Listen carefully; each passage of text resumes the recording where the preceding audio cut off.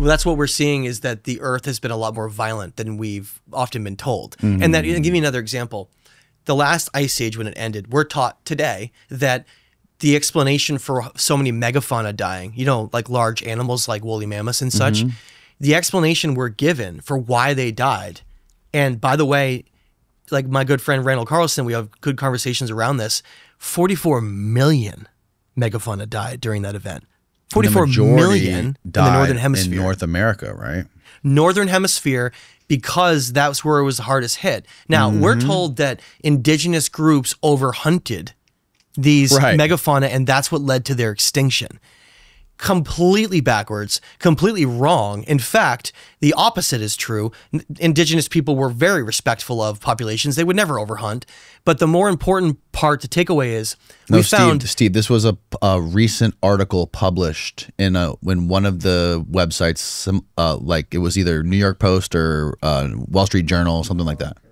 What we found, though, across the northern hemisphere, northern Alaska, northern Canada, and other places, like especially Siberia, are massive boneyards, massive events where they mm. all these mammoths all instantly died. Right. And so, what we're finding, especially in the areas called the New Siberian Islands in the early 1900s, they went up and explored and were mapping them out, and they found entire mammoths that had been flash frozen with not only undigested food in their stomachs, but actually in their throats.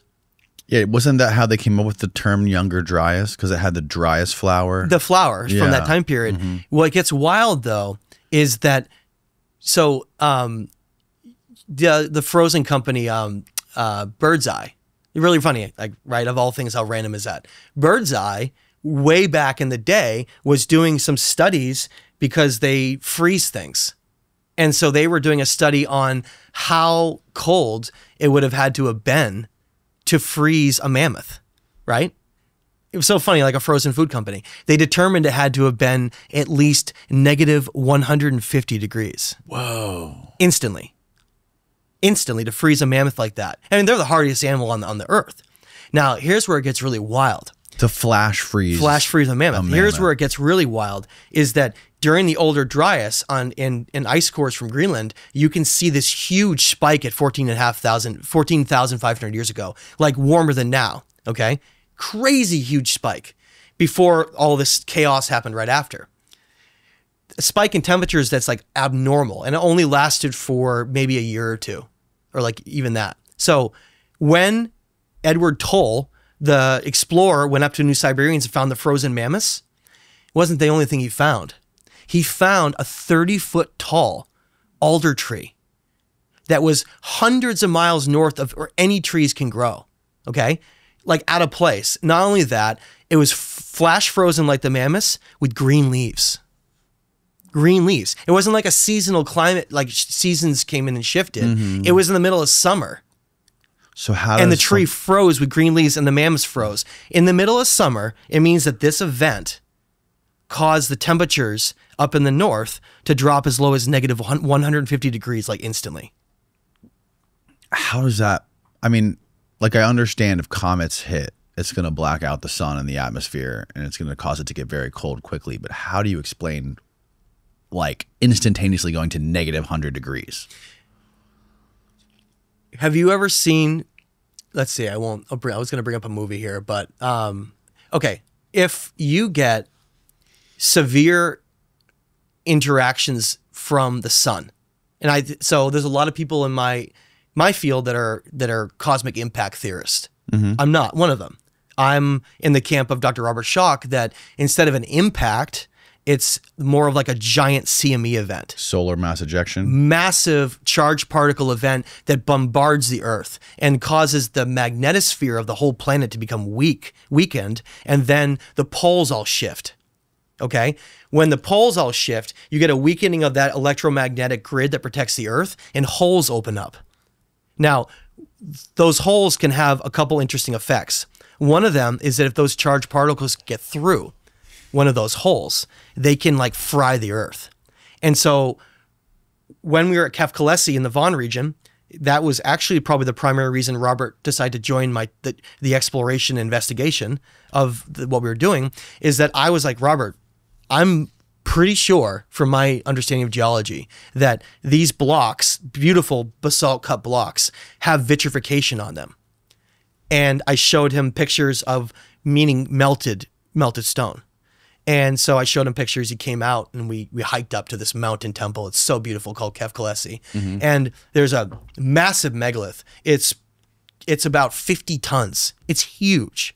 It's like four feet by four feet. It's it's enormous, and the sides have all broken off, and the top still has a beautiful smooth um, area where they cut it, where they where they whatever however they did that. On the top of this block, the whole front of it and these bubbles is we can see where the basalt, which is one of the hardest stones on earth, it's a volcanic stone, is melted, turned into glass. So it hmm. has glass on the top of it, and he came and identified it as is it is 100% vitrification. Now, in order to get basalt to melt, you'd have to have temperatures to what do you think? To get basalt to Just melt. Just to get stone to melt, like quartz or basalt or anything that's got a high know, thousand degrees. Two nearly two thousand degrees. Wow. So on the surface.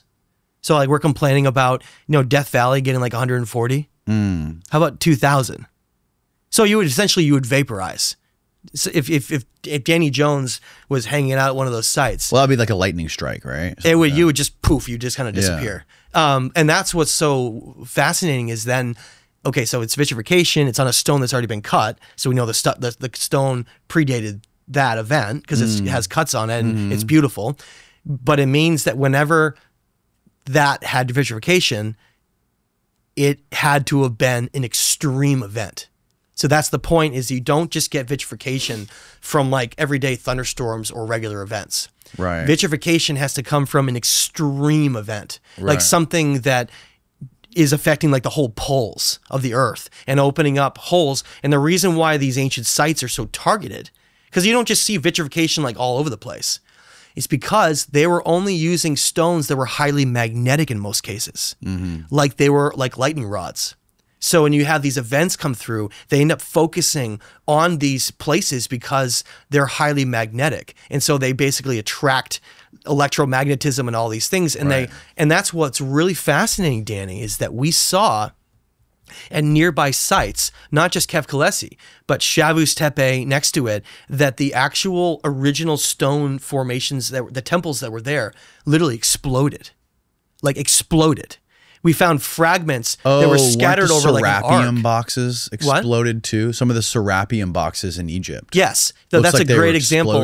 In the in the Serapeum in Egypt, there's these giant granite boxes, and the same thing happened there. Like it was an overwhelm, like an overload of energy, Mm-hmm. and that these areas were like specifically ended up getting that overload because the upper Susi temple at Shavus Tepe, there's nothing left of it, and but what you find are an arc and a very specific. You can like measure it even like an arc of an arc where everything blew and flew towards. And there's there are all these blocks, and there are all the beautiful cuts that were once in the the temple, but they're all broken. All of them like frat, all broken into pieces, like hundreds of them, like they exploded, like the whole thing exploded. Right.